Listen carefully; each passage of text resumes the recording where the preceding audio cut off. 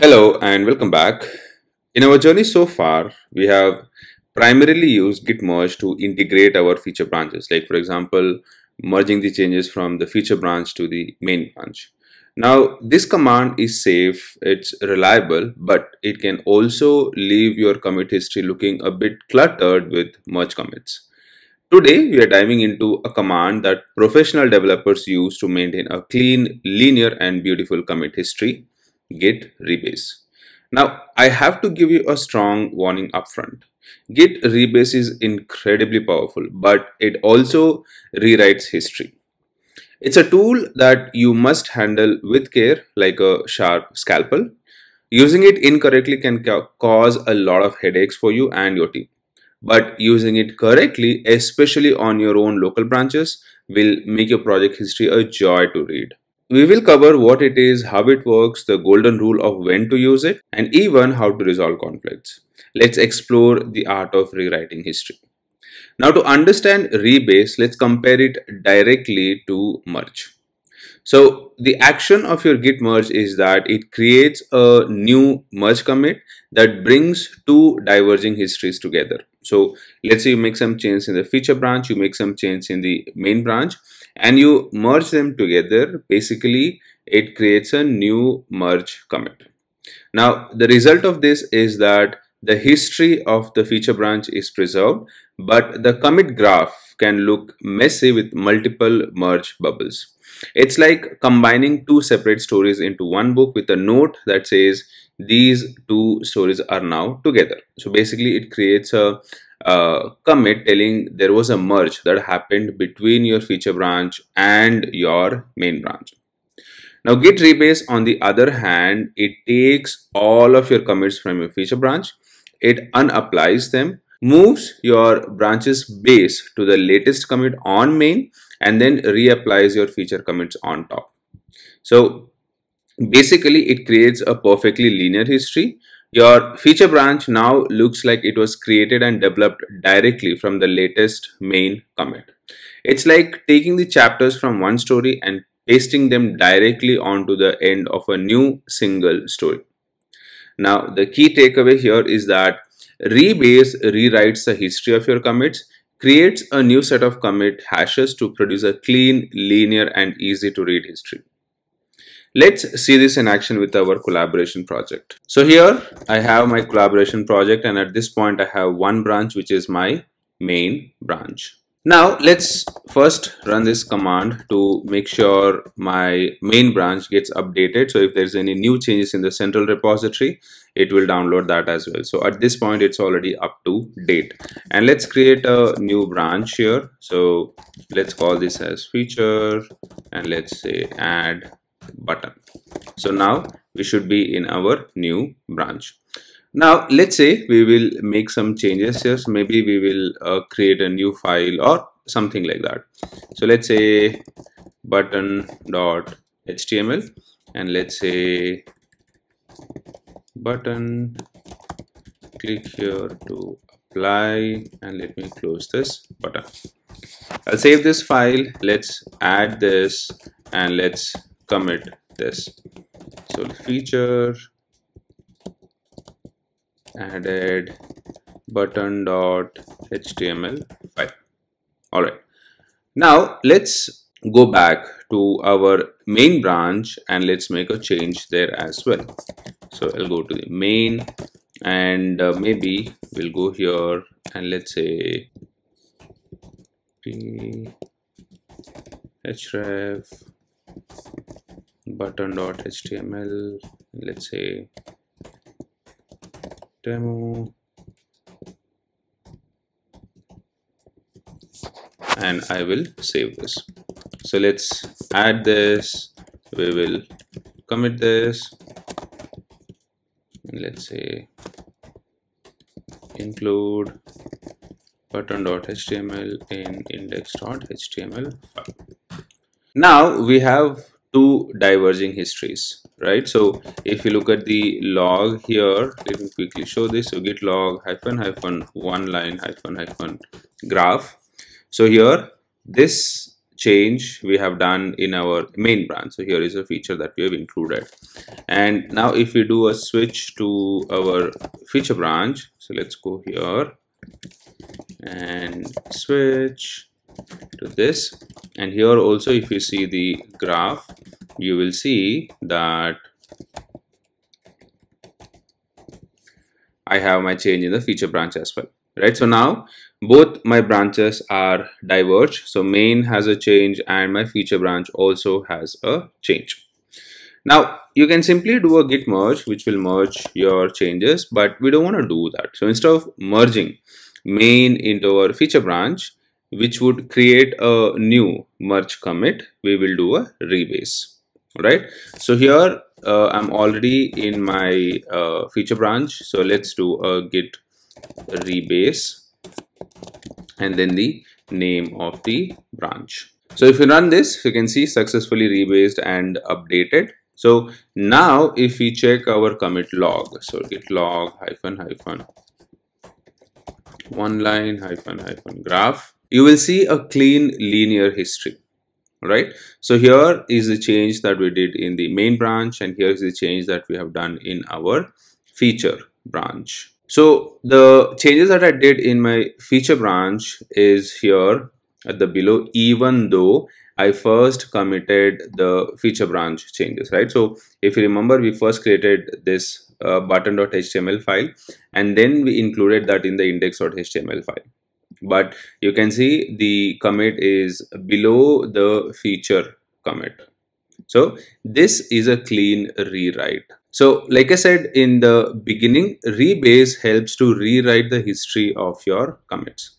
So now my feature branch looks like it was created directly from the feature branch. So basically uh, we created a branch from this commit and then we made our changes. So now my history is clean. Now a very important rule of your rebasing is never rebase a shared branch. So this is good if you are doing it locally only if you are using the branch but if you're sharing this branch never ever use rebasing on it this is the most important lesson of this video Git rebase is fantastic, but it comes with a cardinal rule.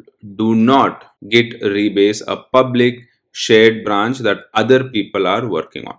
The reason is simple. When you rebase, you're rewriting history. So if you rebase a shared branch that someone else has already pulled and based their work on, you have just changed the shared history out from under them.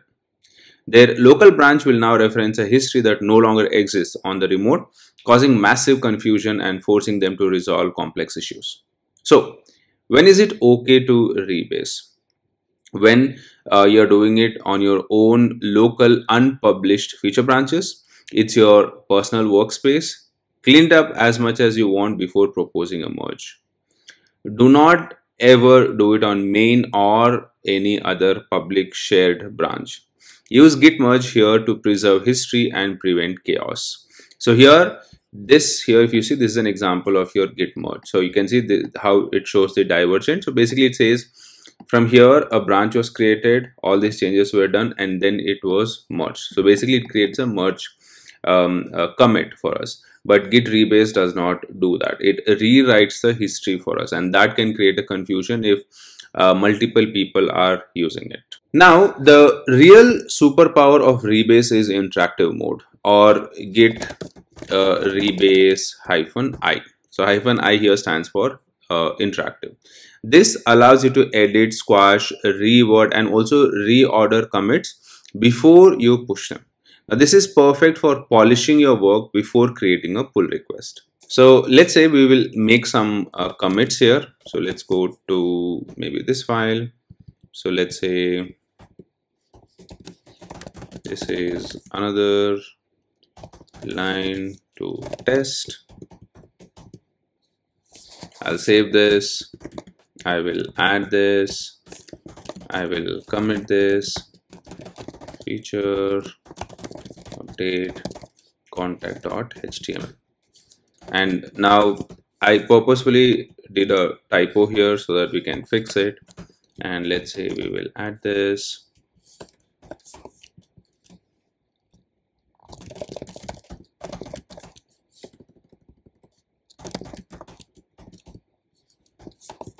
Save this. We will add this as well. And let's say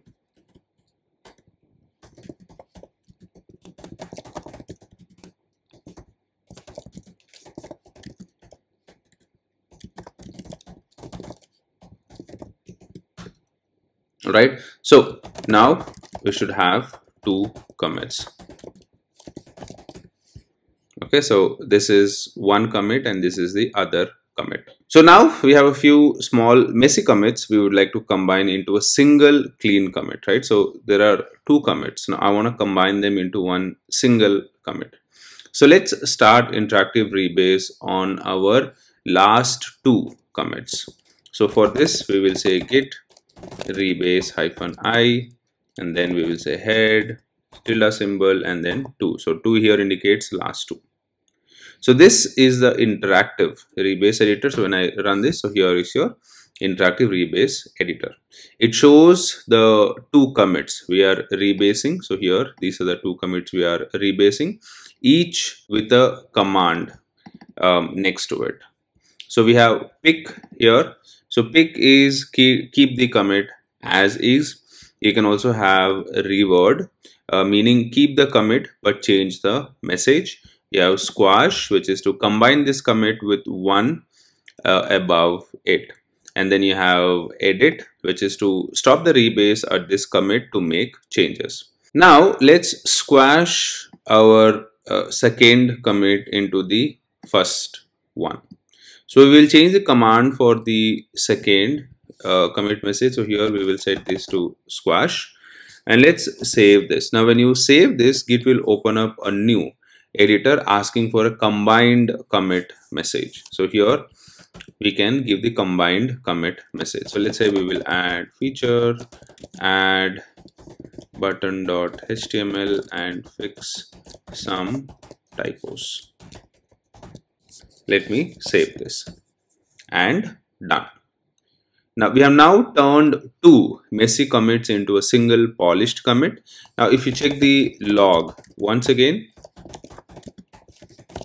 here you will see a clean new history. So earlier we had two commits. Now by using this git rebase we have squashed them and uh, made it into one single commit now next, let's talk about resolving rebase conflicts. So what happens if rebase runs into a conflict? So Git is smart, but sometimes it can it cannot automatically resolve the changes. Now let's simulate a conflict by uh, making changes to the same file on the same line. So let's switch to our main branch. Oh, looks like I did not commit this uh, it's fine. Yes, I'm in the main branch. Let's go to this file and let's say this change was done in the main branch. I'll save this. I will add this. I will commit this. And let's say feature changes from main branch. And now let's switch to our feature branch. And there also we will make a conflicting change. So git switch. And uh, here we will make a change. So this change is from the feature branch. I'll save this. Let's add this. And let's commit this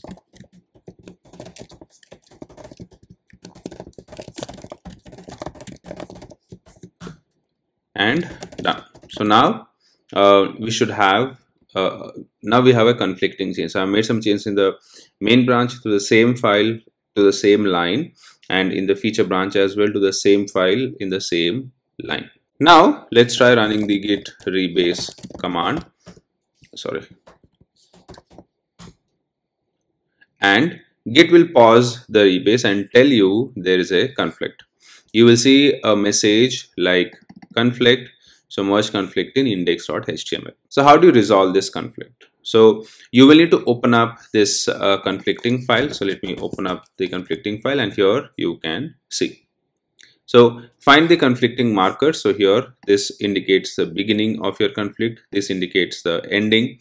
So this is this is a change in one file. This is a change in another file. So this is from the main branch and this is from the feature branch. So let's fix this. So let's say you know we don't want this. Uh, I don't want this line and I don't want this line as well. Now you can either choose to keep both the lines as it is or you can combine them that's up to you. I will leave it as it is and let me save this. So once you resolved the conflict, you will need to tell git that uh, you are ready to stage it. So we will uh, do the git add command.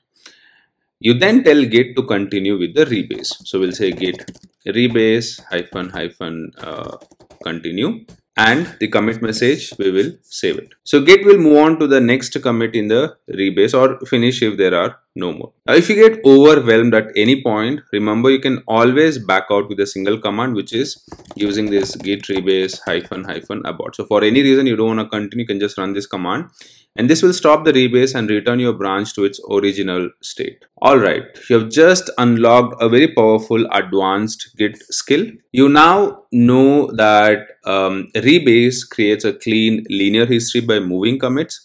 The fundamental difference between rebase and merge, the golden rule, never rebase a public shared branch and then how to use git rebase hyphen i to squash, reword and edit your commits and how to confidently resolve rebase conflicts. This is a professional level tool that when used correctly on your private branches will make your contributions cleaner and easier for your teammates to review. You're now equipped with the advanced knowledge to truly master your Git workflow, a skill highly valued in every tech company. In the next video, we will explore how to change, how to save changes temporarily using the git stash command. If this video helped you understand Git Rebase, please hit that like button, subscribe to the channel for more content and let me know in the comments when you plan to use Rebase for the first time. Thank you for watching and I will see you in the next video.